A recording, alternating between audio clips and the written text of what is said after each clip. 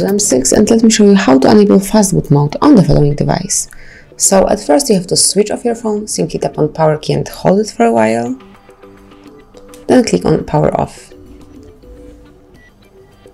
As only your device is shut down, simply click on power key and volume down keys, hold them all together until you see the Meizu logo.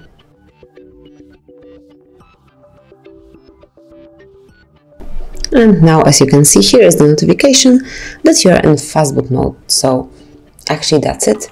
Then if you would like to go back to the default settings, to the default mode, and just if you would like to start using your device normally, simply tap on power key and hold it until it's shut down. And now one more time, hold the power key and wait until it's reboot to the standard mode.